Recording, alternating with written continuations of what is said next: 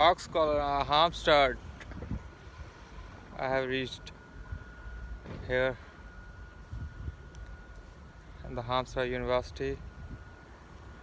It's looking too beautiful, too gorgeous.